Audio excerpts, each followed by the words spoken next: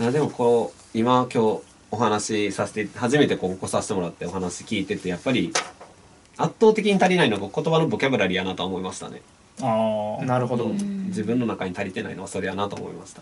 それ増やすのはでもむずいねパッパッとは増えないですね、増えないですよね、なんか本読んだり漫画見たりなんか喋ったりとか、なんか地道な張り意識してそう意識して使っていかないと身にならないから、そうボキャブラリー頭の中に持ってたとしてもふとした時に言葉になって出てくるかって言われると、なかなか難しいですよね。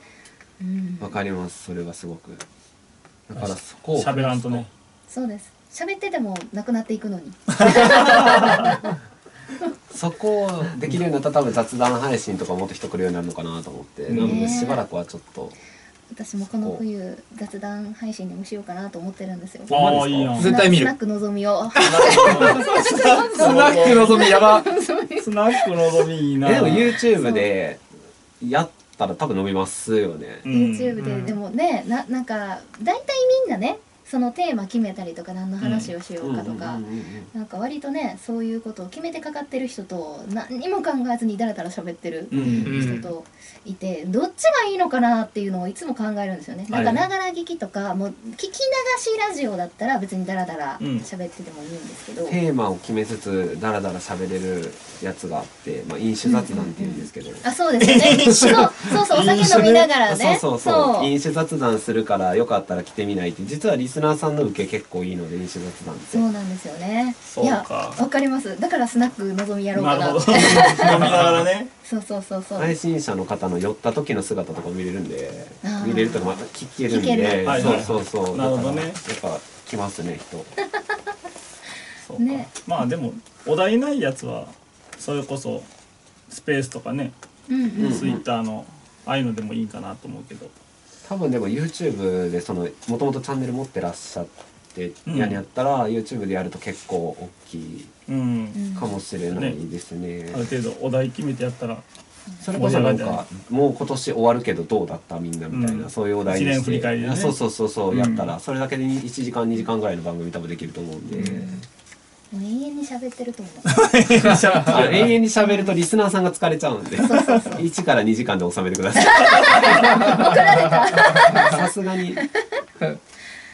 うんと。すごい。えそれは年越しでやんの？年越し？年越し？あでもあれですもんね。こ今年ね。ね12月の。そうそうそう、うん。ないから年越しでできるかもしれないですえおスナック。スナックのぞみを。の ぞ年末年始はあんま店やってないから貴重かもしれない。貴重かもしれない。スナックほんリアルスナックあんま開いてないから。そうそうそれもともと声いいじゃないですか。そうそうすごくあありがとうこございます。う滑舌もいいですし。あちょっと素養ありますかね。いやだからプロですから。そうそうそう。アナウンサーですよそうだからやっぱりやったら人は来るんじゃないですか、うん。実はあのうちの知り合いの VTuber さんで一人こうラジオ局のスタッフやってる方が VTuber やってはるっていう人が一人だけいて、うん。その人も雑談配信とかちょこちょこやってますけどやっぱり雑談の時は人めっちゃ来ますね、おおー。声や。声や。声で。そうですええね、声や。よし。え声言うて。え声？モノマネしっぱなしで喉潰れるとかね。喉潰すまで喋り続けるみたいな。それこそ。それだけ多分喋っても潰れへんと思ううね。んまあ万が一潰れたら死ぬほど影響あるでしょ 仕事に。いやもうそれで潰れたら私もうその配信即消ししないか。んね。何が原因かってのそうバレるのまずいバレるのまずいよね。そうそう。しれっと。うんちょっとうん。なんか乾燥しましたよとかって言い訳が苦しい、56時間喋ってたやん。酒飲んで。絶対それやろ。あかんあかんあかんあかん絶対怒られる。もうほんと龍角さんとお友達ですよ。この辺りは。バンさん最近なんか面白いけどねバンさん。うんなんかだいぶ面白いけどね。ちょっとうん。なんか自分の大切な部分をさらけ出し始めた大切な部分をさらけ出し始めたんですか、うん。なんか占い師の方に人生のこう方向性を多分決めてもらってるんですけど。委ねている感じで。はい、うん、なんかそんなんをツイートし始めたんですよ、そうそうそう。バンさん バンさんすごいですね。そうそう。なんかそういうの全然乗っからなさそうな気もするのに。もう 占い鑑定みたいな。占い師我が道やろっていう生き方してんのかな。と思ったらめっちゃ占い師に占ってもらってたで。占い師に怒られて号泣するらしいですそんなんじゃダメよみたいなんで。うん。さん。そう。はいってっていうのをなんかいきなり SNS にさらけ出し始めたんですよ。あれあれじゃないですか？可愛い部分を見せていこうと思ってるんじゃないですか？バンさん。いやいやあのねスポンサーについてるんですよ。占い感が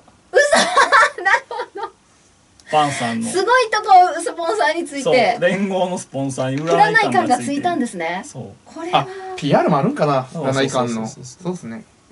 明確になった。ただなんかね除霊してもらった時になんかこうすごい体験をしたみたいなのが書いてあって、うんうん。へなんか引っ張られたんですかねバンなさん。何かがここからトゥルンって出たみたいな。へえあの感覚はなんかうん。すごかったみたいな。なんか一気にちょっとスピリチュアルな話。そうスピリチュアルな感じになって。感じになったんですよバンさんそうそうそう。ですなんかごいもうデジタルからもう真逆のスピリチュアルに行ってあれじゃないですか新しい扉を開いたってこと開いですかてる開いてる。だいぶ開いてるよ彼。なんか新しい動きも発表しまくってますしねそうそうその後最へ近。うん。面白いですね。どんどんどんどん。また岐阜の活動も活発化してるんで。そうですよ、はい。ちょっと岐阜といろいろありましたね。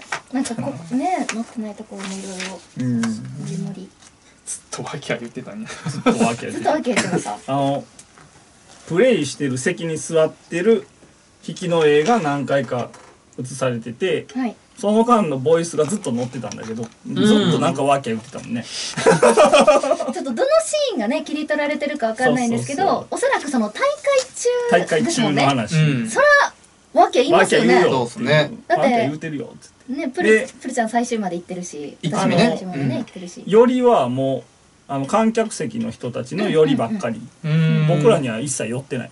まあカメラの場所的に僕ら寄れや寄れなかったかもね。寄れなか後ろの中央でしたもんね。そうそうそうそう。とかうんだからねくせっけさんと大久手さん。あと誰だあの芝尾さん。芝尾さん。いやあっちのね右側の方に座ってあのあ。優勝した。みやびさん？じゃなくて陸さん？陸さんとかの方。うん。がよりがあって。なるほど。うん。ガチ勢あたりですね。そうそう。うん。ほんで芝尾さんのコメントがあちゃんと使われてるんですねそれも。ううん。んあってうん。5分ぐらいかな。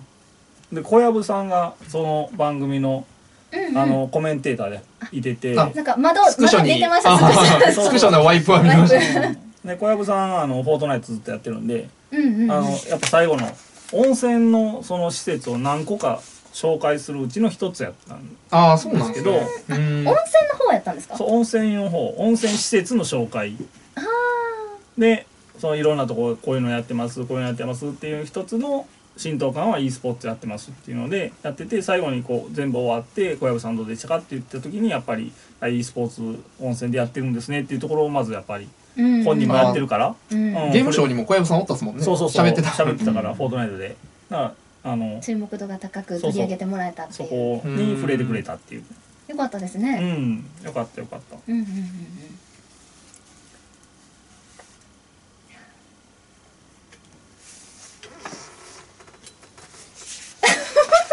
何笑ってんの？トピックやりましょうかしんとした時間が続いてるなんかそろそろトピックスいこうかな。参りましょう。参りましょう。プレイステーションゲームミュージック大賞2022プレイステーションゲームですね。あそうや。まずローソン行ってへんから一番くじ見てない。あ始まったか。そうだ3日からです。3日から3日からです。なんかの出るんですか？一番くじではい。プレイステーションの一番くじが。ああの貯金箱とかですか？そうそうそうはいはいはいはいはい一回引こうかな。どうしようかな。なんか特賞はなんかでっかいクッション。コントローラー型クッションが当たるみたいなんあでへえ帰り道ローソンない。ローソンなんかない。ちょっと遠回りしちゃうのな。そうい三重県少ないね。潰れちゃったんですよ。えー、潰れてえーセブンイレブンになりました。それはどっちがいいのっていう感じで そうそうそうそうはい。あ普通にやってます。そうですね。もう年越しなんでねこれは。ね。締めは。良いお年を。や。ああそっか。2回目？あそれそれでは2回目を。2回目の良いお年をですね。本当に。ねえとうとうこれが3年目に続くのか続かないのかは明日一日で終わりのアンケートを答えてもらえるかどうかだけ 明日終わりのね。はい明日終わりのアンケート締め切りが明日でございますが。はい。今何個か知りたいな。今どあのアンケート途中結果みたいなの分かるんですか、わかんないんですよ。そのそうそうそうそうそうそう管理者に聞かないといくつかっていうのが分からなくて。でうん。多分でもメールでいて。ええ勢いで出てるね今いい音し今清瀬じゃなくて清田のぞみ出てきてるいてお庭にパニックぐらいのあのあのそうそうそれあアンケートやりましたあやりましたやりましたあありがとうございますりがとうございます今のもちろん今のスピードはやってくれてるわさっきのはねあさっきのはねはうんそうそう間があったからね取ってつけました完全にねオッケーします。さあということで今年最後の放送もそろそろお時間となってきました。はい。e スポフライデーナイトフィーバーここまでのお相手はキヨンセこと清田のぞみと。あの信谷こと信谷拓也と。ルクプルことノロケイシと月影カルアでお送りしました。それでは皆さん良いお年を